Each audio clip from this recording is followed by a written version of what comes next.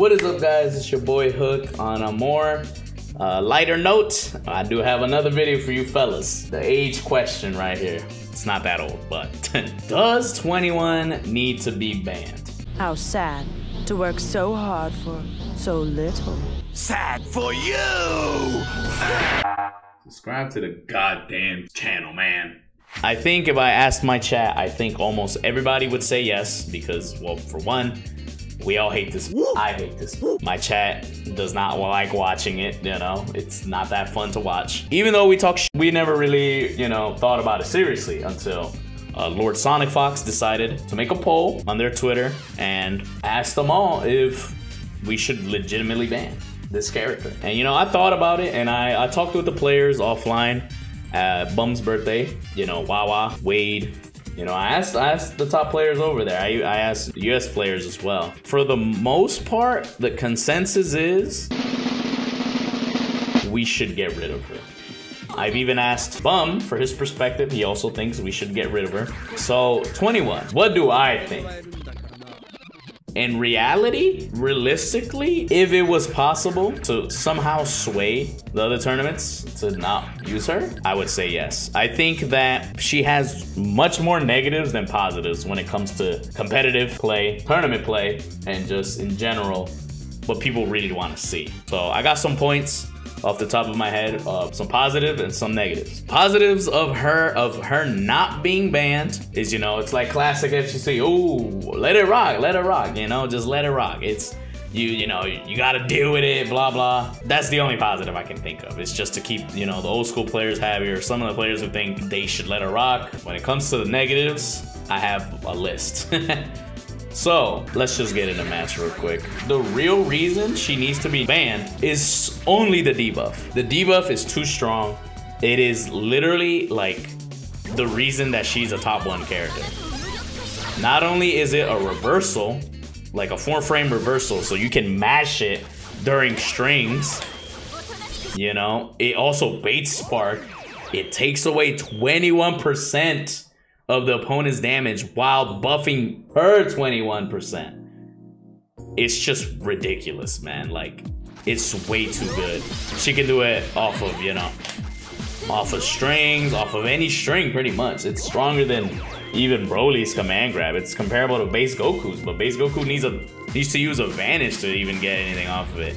It's unscaled, so if you do a, a level three, it's just Look at the damage. It's off of just guessing wrong on the command grab. You die. It's just too much, man. Because realistically, everything else about her, the beam, the the stupid ass EX, you can compare that to shit like this, you know? Or, you know, Gogeta's full screen, Lariat, you know? That is just the meta of this game. So it's not necessarily how dumb she is, because she is very dumb, don't get me wrong. But it's really this. And I think the fact that it makes some characters unviable, she has to be on a team. Like I said in my other video, the only team who can compete with her competitively at the highest level is Yasha's team, which is Blue Gogeta, Vegito uh, 17. That is the only team. And even then, that team loses to 21. If you're not playing on, on your team, you're trolling. You are actually trolling. She is a must must have if you're actually trying to win. Undoubtedly. It doesn't matter. I don't care what any of you fellas say.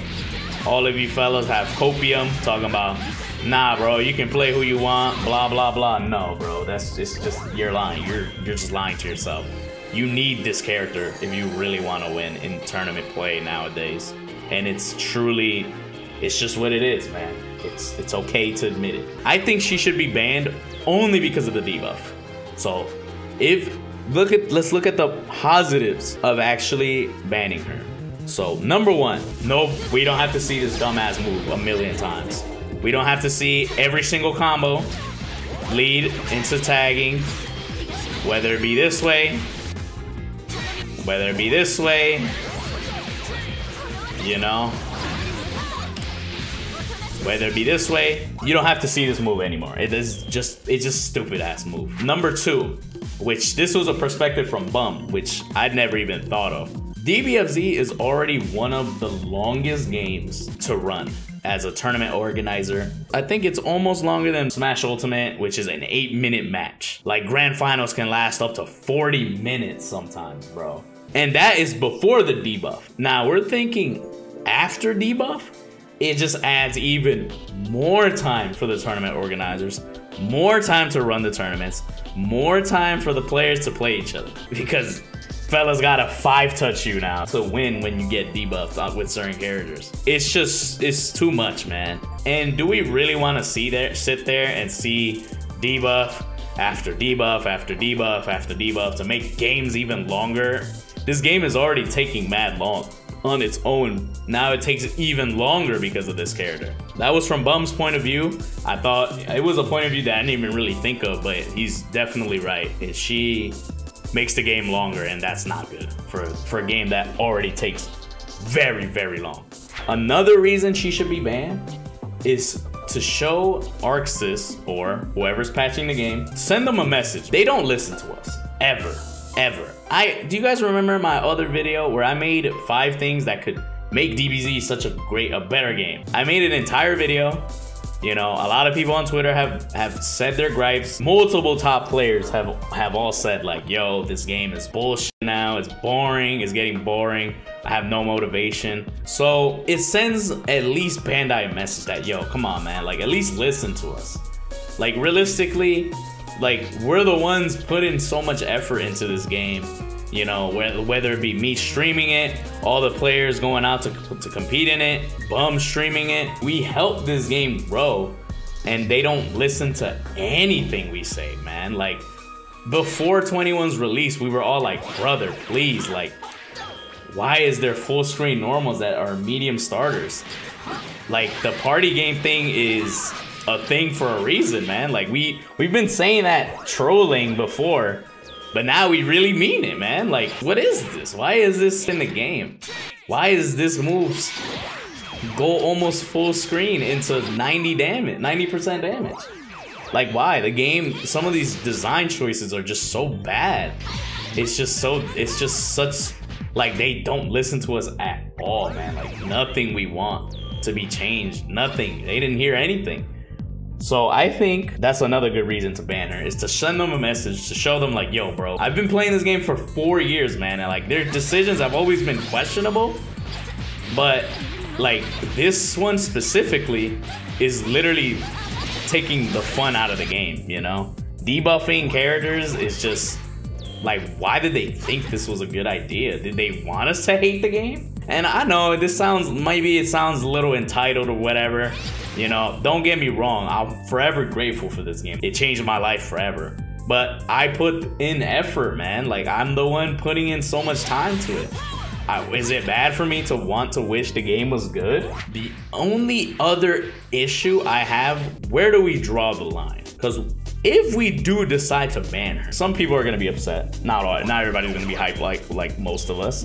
But realistically, where do we draw the line? When I talked to a couple players, some of them were saying, banning 21. Ban Vegito. This character is stupid.